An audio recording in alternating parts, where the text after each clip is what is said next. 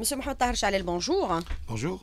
Alors, la question de l'emploi est une question centrale et déterminante pour l'État algérien avec la situation actuelle financière. Les acquis enregistrés vont-ils être remis en cause? Les emplois pourraient-ils subir les effets négatifs de la situation financière que connaît aujourd'hui le pays? Monsieur Chalel, un commentaire en début. Euh, avant de faire le commentaire, je voudrais juste euh, euh, dire que la politique de l'emploi est une composante fondamentale de tout, développement. C'est une question qui est transversale, donc qui concerne tous les, tous les acteurs, et elle résulte d'une interaction au, niveau de, plusieurs secteurs.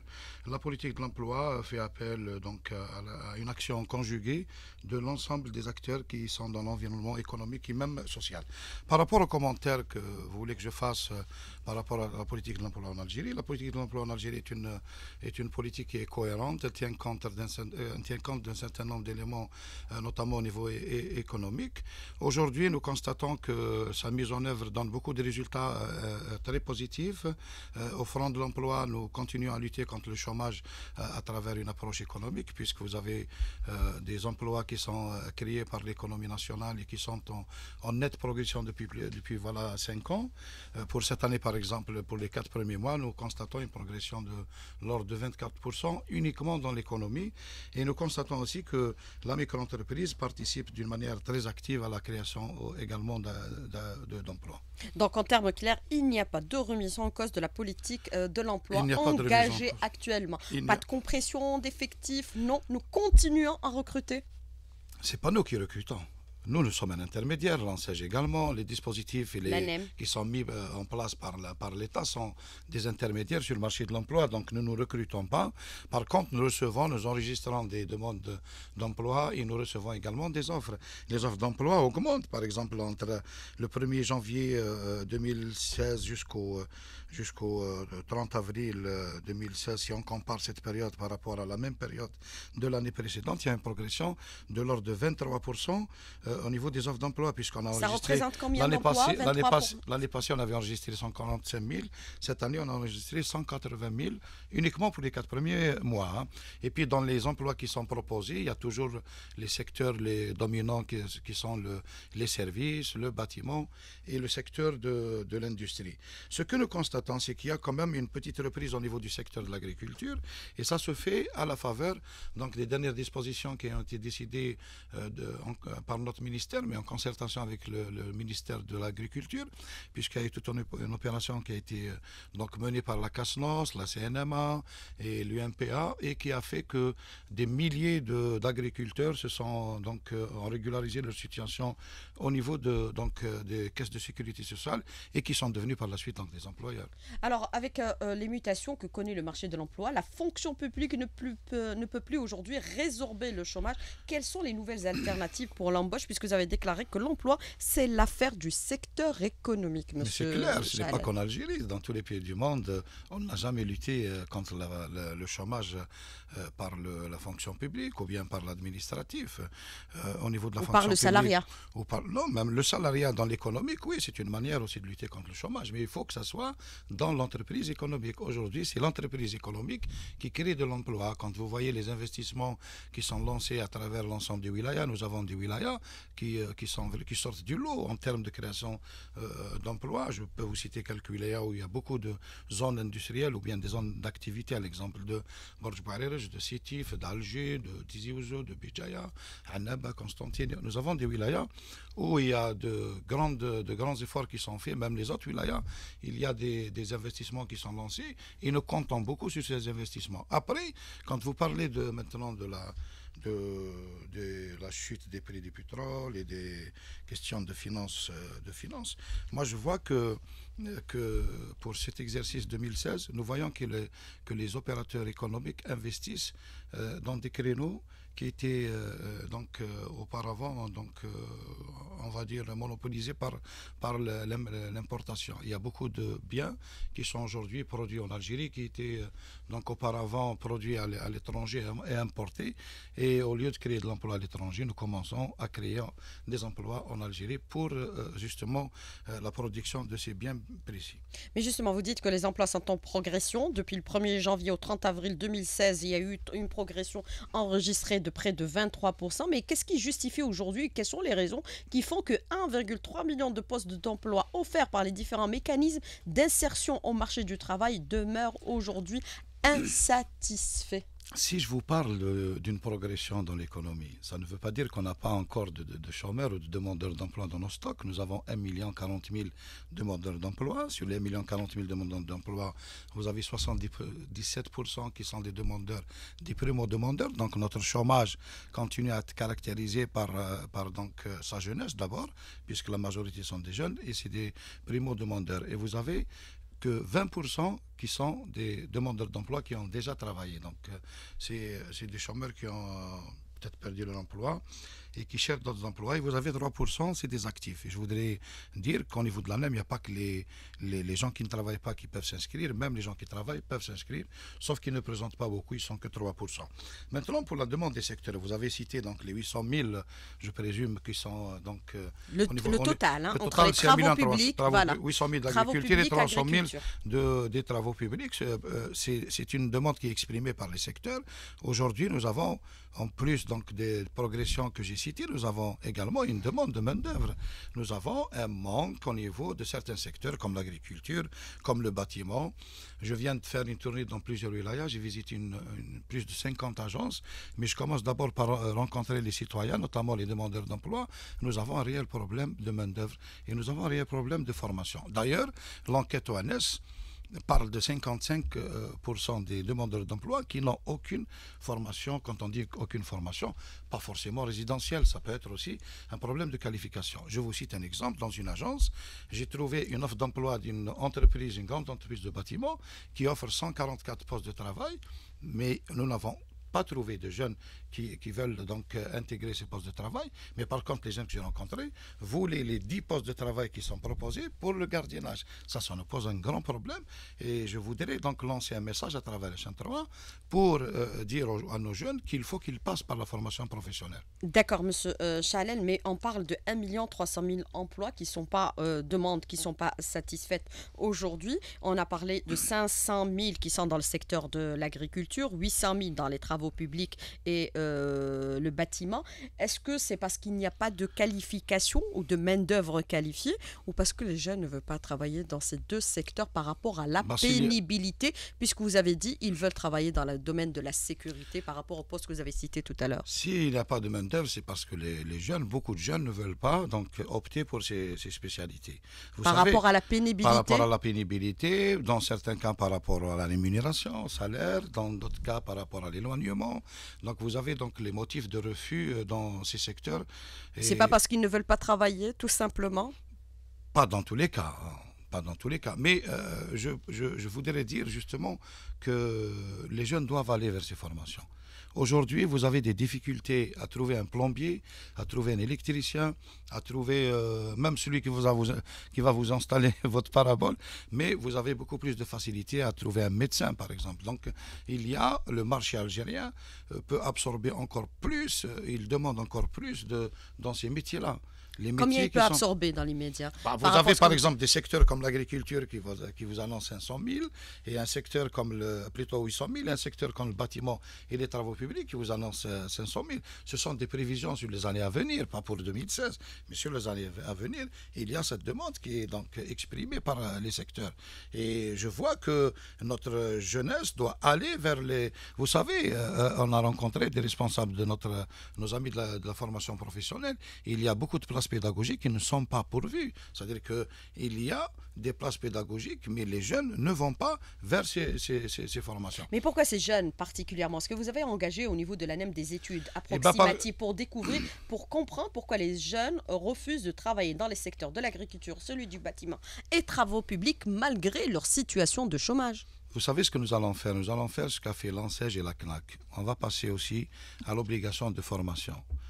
En plus de tout. Mais c'est obligatoire au niveau de la NEM Au niveau de l'ANSES et de la CNAC, c'est obligatoire. Au niveau de la NEM, nous avons des demandeurs d'emploi de différents niveaux, de compétences, de formation, de qualification. Mais quand vous rencontrez tous les jours des jeunes qui ont moins de 35 ans et qui ne font, qui qui n'ont pas de qualification et qui peut-être ont fait, qui ont fait peut-être un décrochage scolaire et qui ne souhaitent pas, qui ne veulent pas aller vers la formation, nous devons aller maintenant vers l'obligation de la formation. C'est-à-dire que nous allons orienter d'une manière systématique les jeunes qui ont moins de 35 ans et qui n'ont pas de formation vers le secteur de la formation professionnelle pour qu'ils apprennent un métier. Mais justement, puisque vous parlez des exemples de la CNAC et de l'ANSEJ, le salon de l'entrepreneuriat va se tenir à travers les 48 wilayas du pays. Ça, c'est une première à partir du 19 au 22, c'est-à-dire à partir de ce jeudi.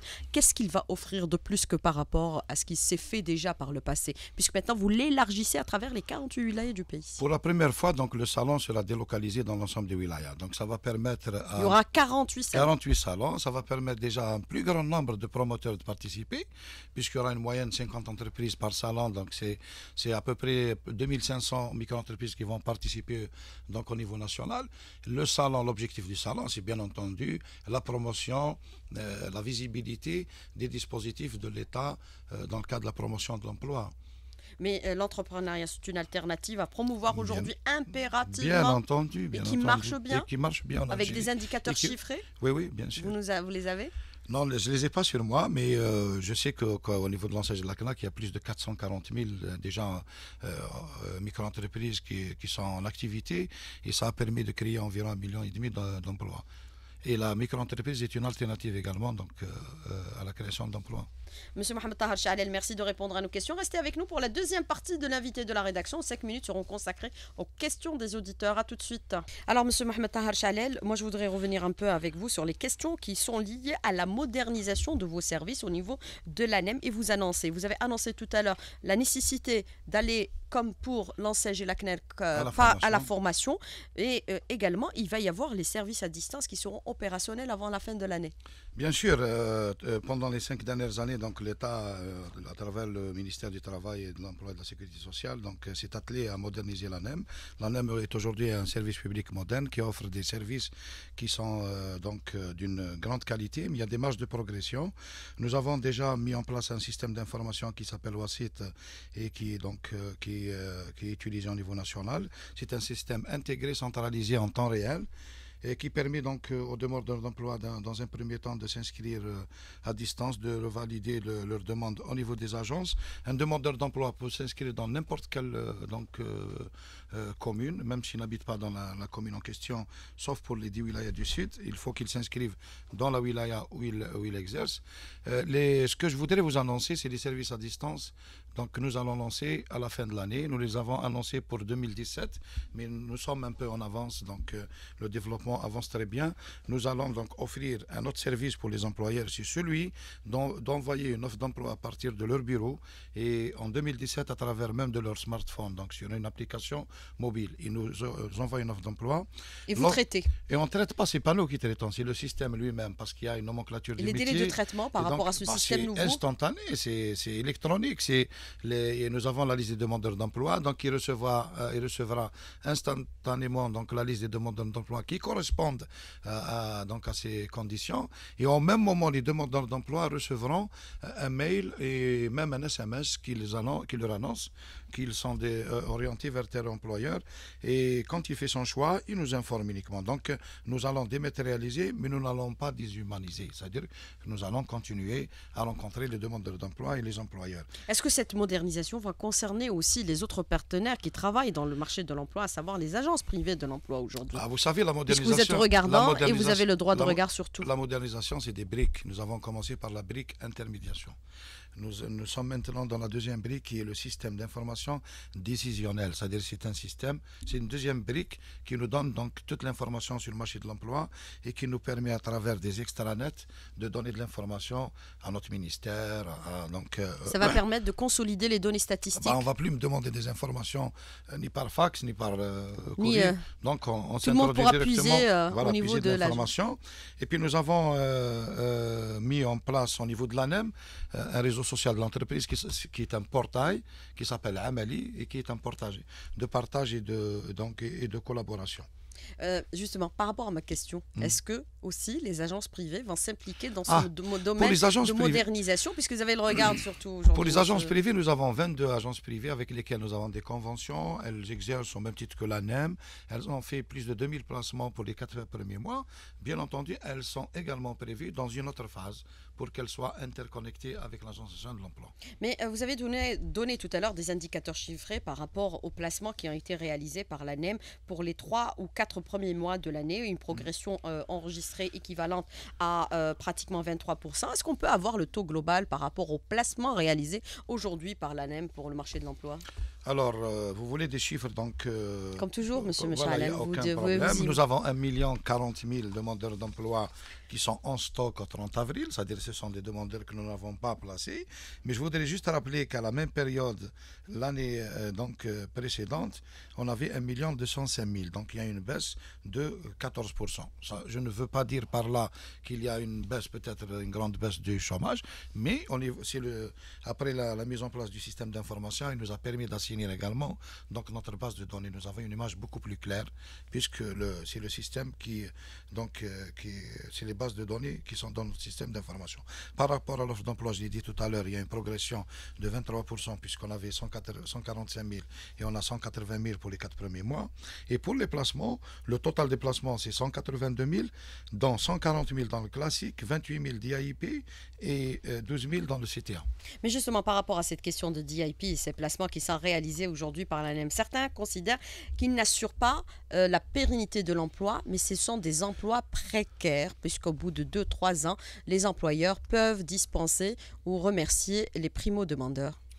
Bon, emploi précaire, c'est un jugement. Mais moi, je pense que ce dispositif qui a été mis en place, c'est un dispositif d'insertion.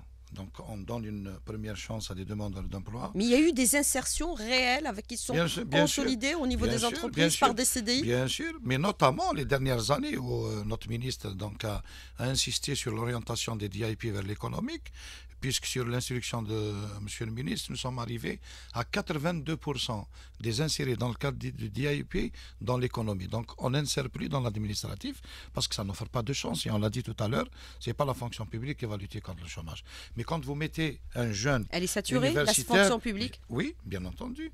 Mais quand vous mettez un jeune dans une euh, entreprise économique, eh ben, il, il a une grande chance d'être inséré. Et nous avons des milliers, pour ne pas dire des centaines de milliers de jeunes insérés dans le cadre du DIP dans l'économique. À la limite, s'il n'est pas, si son poste n'est pas permanisé, il a acquis déjà une expérience professionnelle qui lui permet une mobilité, qu'elle soit donc géographique ou bien euh, euh, professionnelle. Mais est-ce que vous avez élaboré par rapport aux besoins euh, du marché de l'emploi une cartographie Oui, pour de telle sorte assurer un équilibre entre toutes les régions en matière d'emploi? Par exemple, au niveau On du Sud, il y a des problèmes de, fait- recrutement au niveau des entreprises qui sont existantes, notamment dans le Mhm. domaine des hydrocarbures, du pétrole. Certaines avaient bloqué à un moment donné. Il y a eu des problèmes qui ont été soulevés par Mais ces populations.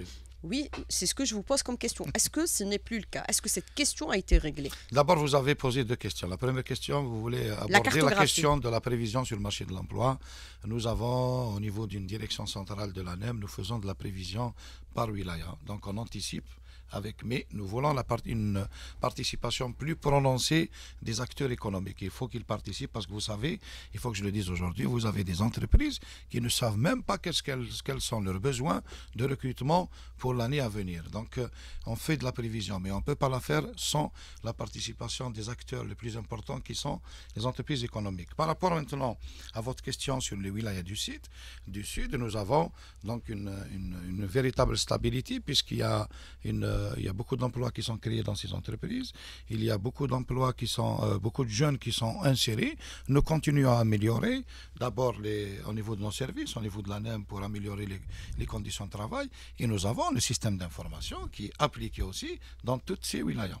Et c'est un système qui offre d'abord la transparence, ensuite la rapidité de, donc de l'intermédiation. Alors, monsieur euh, Mohamed j'ai beaucoup de questions d'auditeurs. La première qui concerne, je la trouve très intéressante, pourquoi l'État n'encourage pas l'emploi dans certains secteurs tels que l'environnement? Et pourtant, il y a euh, de quoi faire entre le tri des déchets et le recyclage. Ça permettra de régler deux problèmes, créer des emplois à des milliers de chômeurs et assainir l'environnement car notre pays croule sous les ordures.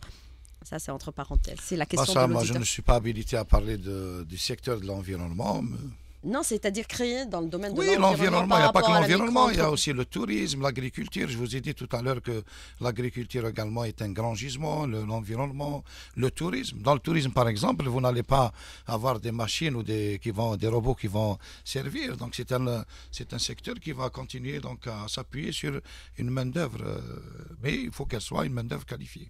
Alors, de nos jours, des recrutements se font dans la, euh, sans l'aval de l'ANEM dans le secteur public. Est-ce que vous avez fait votre propre enquête Monsieur Mohamed Tahar Chalella. Alors, pour les recrutements qui s'est fait, ce qu'on appelle les recrutements directs, qui ne sont pas, donc, euh, qui ne respectent pas la, la réglementation en vigueur, il y a l'inspection du travail qui fait ça, qui fait donc des. Mais les recrutements directs sont toujours possibles. C'est après qu'ils régularisent. bah, Voilà. Les recrutements directs, les recrutements directs qui sont décidés par, le, par une instruction de M. le Premier ministre, ils sont donc bien encadrés. Ils continuent donc à être faits par les entreprises qui ne trouvent pas ce qu'ils cherchent, euh, ce qu'elles cherchent euh, au niveau de l'ANEM. Mais par contre, des recrutements qui sont faits sans passer par le réseau de l'ANEM au niveau de certaines entreprises, l'inspection travail, dans le cadre de ses missions, donc euh, les missions qui lui sont conférées, donc elle, elle, elle verbalise et elle, elle- donc, euh, elle fait ses enquêtes et, et ses opérations de contrôle. Alors, vous avez un autre Et auditeur. puis, qui je vous- voudrais aussi de dire aux citoyens, Rapidement, monsieur je voudrais dire aux citoyens, il faut qu'ils dénoncent des situations pareilles, parce que je profite de cette occasion pour dire aussi que les employés, les, les, les- les gens qui, les, les travailleurs doivent également donc dénoncer. Il ne faut pas qu'ils soient complices de situations de non-respect euh, des règles qui sont liées euh, donc aux relations de travail, aux conditions de travail, notamment pour les contrats, pour la pour la- la- les, les cotisations à, à la sécurité sociale. Bah, vous avez des travailleurs qui refusent d'être donc enregistrés à la sécurité sociale et, et- et ça aussi le, donc il faut qu'ils soient dénoncés par les, les- les travailleurs. Alors, autre question des auditeurs, et très rapidement, Monsieur Chalel, pour Oui, qu'on oui, puisse répondre à un maximum de questions. Alors, pour un jeune, faut-il une carte militaire pour travailler, c'est-à-dire être exempt du service national J'ai déjà répondu à cette question. On, demande, d'avoir une situation régulière vis-à-vis du service national. Situation régulière ne veut pas dire euh, dispense. Situation régulière veut dire quatre situations. Il faut qu'il soit inscrit au niveau de la commune, parce qu'un jeune doit s'inscrire au niveau de la commune. Il faut qu'il euh, ait un ou bien avoir accompli son service national ou dispenser des obligations du service national. Donc vous avez une des quatre situations. Mais quand vous avez un jeune qui n'a aucune de ces situations, je pense que ça lui pose un problème. Il faut qu'il aille d'abord régulariser sa situation. Donc, situation régulière vis-à-vis du service national ne veut pas dire forcément avoir accompli euh, ses obligations. Alors, certains auditeurs vous disent aussi, et parallèlement, que pour le recrutement, on ne recrute que les, que les pistonnés. Quel est votre commentaire, Monsieur Chalel C'est une question qui revient. Je vous assure que je ne suis pas d'accord parce que aujourd'hui, je, l'ai dit et tout le monde le dit, c'est l'économie qui recrute. Donc, euh, une entreprise économique, notamment le secteur privé qui est à plus de 72%, je ne pense pas qu'ils vont se suicider en, en recrutant des incompétents. Donc, ils cherchent toujours des gens qui sont compétents et des gens qui vont apporter de la valeur ajoutée. Alors, est-ce qu'il y a possibilité de transformer aujourd'hui les chômeurs en entrepreneurs? Eh ben, les chômeurs, vous savez, il y a deux voies. Ils peuvent, euh, il y a certains chômeurs qui ne veulent pas faire l'aventure parce que c'est une belle aventure que de créer une entreprise. Et vous avez des chômeurs qui ont des prédispositions euh, innées ou bien euh, acquis ou bien des dispositions acquises pour créer de l'entreprise et faire cette belle aventure avec l'Ansège, le, la CNAC, l'Andy, l'Angem également. Alors, euh, autre question des auditeurs, ils vous disent aujourd'hui, euh, est-ce que euh, au niveau de votre département ministériel, vous gérez la question du taux de chômage, vous essayez de, de mettre en place une véritable politique de l'emploi? Alors, pour le, taux de chômage, on ne gère pas un taux de chômage. Le taux de chômage est un indicateur qui est donné par l'ONS, donc l'Office national des statistiques. Et dans, beaucoup, dans tous les pays du monde, vous avez des organismes qui jouent ce rôle donc de faire des enquêtes. Il n'y a pas uniquement sur le chômage, sur les salaires, sur les ménages. Il y a beaucoup d'autres types d'enquêtes qui sont faites par ces organismes et qui donnent des indicateurs. Ils donnent, ces, ces- on va dire, ces organismes donnent une image. Au niveau de notre département ministériel, la Direction générale de l'emploi, fait également une, une enquête interne avec les directions de l'emploi de Wilaya pour avoir également une idée. Parce que nous aussi, au niveau de l'ANEM, nous avons des chiffres qui se rencontrent et qui sont pas très loin des chiffres qui sont euh, annoncés par l'ONS, puisqu'au niveau de l'ANEM, c'est des chiffres exhaustifs des jeunes, plutôt des citoyens qui viennent s'inscrire. Au niveau de l'ONS, c'est des enquêtes euh, euh, par sondage. Donc, ils ont ils ont un panel et ils font l'enquête après. Donc ils, et pas, juste quelques chiffres peut-être que je n'ai pas donné par rapport peut-être à l'emploi féminin. Il y a une, petite progression au niveau du salariat, même au niveau de, de l'inscription également, au niveau du fichier de l'ANEM.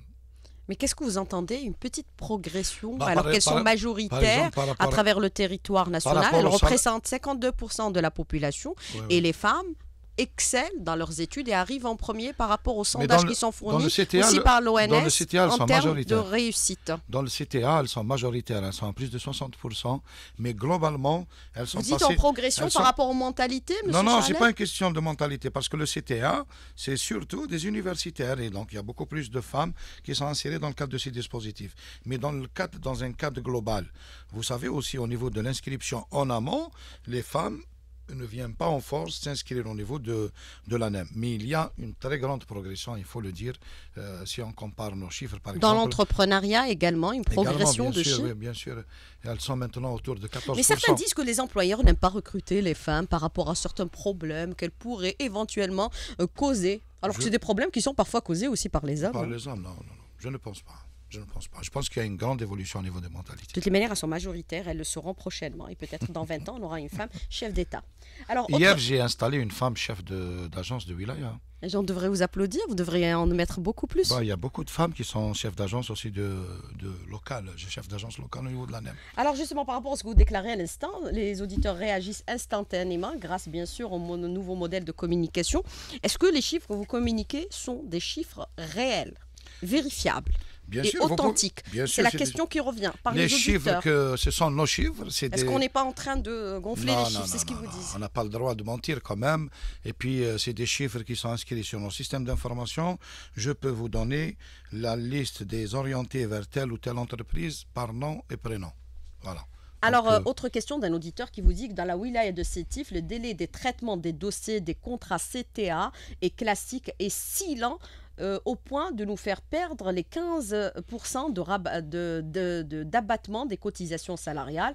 Euh, en tant que start-up, j'ai recruté 10 salariés. Je me retrouve non bénéficiaire de mesures d'encouragement de l'État via la NEM. Tout ça à cause des lenteurs administratives où la wilaya de est championne. C'est ce qu'il dit cet auditeur. Bon, il pose un problème. Je, je, prends acte de ce problème, mais euh, pour bénéficier des avantages qui sont prévus par la loi en termes de sécurité sociale, il y a aussi des délais euh, Combien d'enregistrement. Il faut qu'ils euh, les, les enregistrent dans au moins 10 jours, moins de 10 jours. Euh, il vous dit, euh, un autre auditeur, il va pratiquement dans le même euh, sillage, il vous dit, monsieur le directeur, êtes-vous au courant que le traitement des dossiers CTA et DIP met au minimum 20 jours oh, oh, dans la même wilaya Non, non, non, pas, pas au niveau de Rouiba, voilà, au niveau de Boumerdes, Rouiba, c'est-à-dire au niveau, aux alentours de l'Algérois. Ah bah, Boumerdes et bah, déjà ne sont pas dans la même wilaya. Donc, euh, je ne sais pas.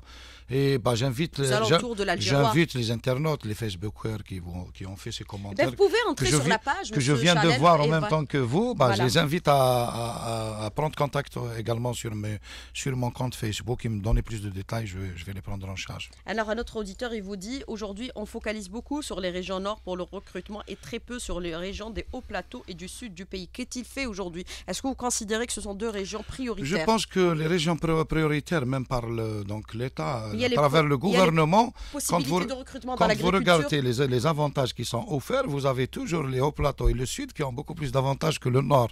Bon, peut-être qu'il y a des régions qui sont beaucoup plus attractives que les autres. Et aujourd'hui, je vois dans mes déplacements que, me, que messieurs les Wali euh, sont en train de faire des efforts euh, qui, euh, qui, qui, permettent d'améliorer les conditions d'investissement. De, et donc l'amélioration des climat des affaires est un autre défi aussi pour nous, pour euh, attirer plus de, créer plus d'emplois. Alors vous avez un de vos employés qui dit, euh, celui-là, vous avez la chance de recevoir notre DG ce matin. Alors autre question. À un employé de la NEM Apparemment c'est le cas, il dit que vous êtes son DG. Mm. Alors autre question d'un auditeur qui vous dit, à quand le travail intermédiaire chez la NEM Travail intermédiaire, euh, je pense qu'il parle du travail intérimaire. C'est ça. Voilà, le travail intérimaire. euh. Bon, le travail intérimaire n'existe pas encore en Algérie. Nous avons des agences privées qui font le même placement que l'ANEM, mais c'est une question qui peut être, euh, peut être discutée un jour ou l'autre. Alors pour euh, justement, euh, à- par rapport à la NEM, euh, des, des placements peut-être temporaires, y a-t-il possibilité de placer des jeunes, par exemple, nous avons déjà en des saison euh, Nous avons des placements, voilà. des placements temporaires. Par exemple, euh, à la- l'approche du mois de juin, nous avons des Dans la placements. restauration. Oui, oui, oui, oui. Les wilayas, les côtières enregistrent donc. Ils passent par la NEM Beaucoup, de- bien sûr, beaucoup d'offres d'emploi, euh, notamment des hôtels, des établissements donc, euh, touristiques qui viennent nous faire des offres d'emploi pour des périodes courtes. et nous prenons en charge les demandeurs d'emploi, on les oriente. Ça leur permet d'abord euh, d'avoir euh, un emploi et d'améliorer aussi leur euh, employabilité. Alors, dans le cadre du DIP, le dispositif qui est mis en place aujourd'hui, est-ce que l'État va continuer encore à payer des emplois avec le contexte financier difficile que, que traverse le pays, Monsieur Jalem? Je pense que M. le ministre l'a déclaré plusieurs fois, M. le Premier ministre l'a déclaré, la politique de l'emploi continue à être donc euh, exécutée et mise en œuvre euh, pendant de 2016 et même les années à venir, puisque nous avons donc proposé des budgets et nous allons continuer à prendre en charge. On ne va pas laisser en reste les jeunes demandeurs d'emploi. Alors, les budgets sont équivalents à combien? Est-ce que vous pouvez nous donner un ordre de grandeur Je n'ai pas les chiffres, vous savez Vous bien êtes que... le DG de, de l'ANEM, monsieur je, le je directeur n'ai pas les chiffres, vous madame. Quand vous, quand vous m'avez appelé, j'étais euh, en déplacement, donc euh, je n'ai pas pu euh, Oui, vous ramasser tous mes documents. Voilà, je suis rentré donc très tard euh, en soirée, je n'ai pas pu avoir de- tous les chiffres. Voilà.